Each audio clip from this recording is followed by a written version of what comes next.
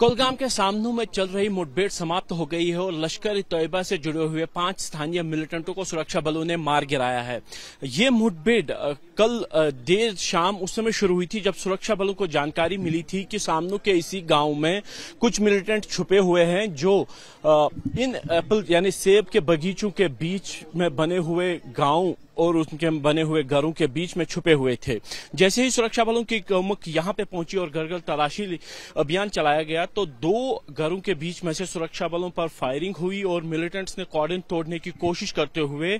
Firing कर दी, जिसके जवाब में भी सुरक्षा बलों ने गोलीबारी शुरू कर दी और जवाबी कार्रवाई रात भर चली।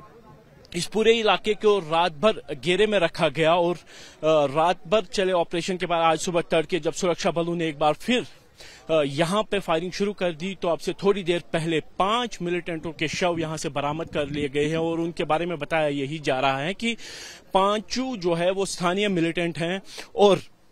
इसी इलाके के रहने वाले हैं। कुछ मिलिटेंट्स के बारे में बताया गया है कि वो लश्कर के शग्न ग्रुप यानी टीआरएफ से जुड़े हुए हैं, इसीलिए अभी पहचान आधिकारिक तौर पर ज़ाहिर नहीं की गई है।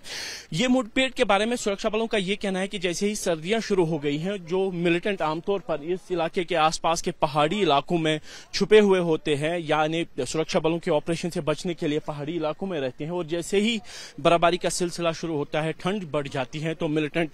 पहाड़ों के साथ बसे हुए गाँवों में आकर घरों में शरण लेते हैं और इसी बात की पुख्ता जानकारी जब सुरक्षा बलों को मिली तो यहाँ पे ये ऑपरेशन चलाया गया, जिसके बाद लश्कर से जुड़े पाँच मिलिटेंटों को सुरक्षा बलों ने मार गिराया। बता दूँ कि ये इस साल दक्षिण कश्मीर में होने वाली सबसे बड़ी मुठभेड़ में, मुठभेड़ है, जिसमें पाँच मिलिटेंटों को एक साथ सुरक्षा बलों ने मार गिराया और कहीं ना कहीं जम्मू कश्मीर पुलिस की तरफ़ से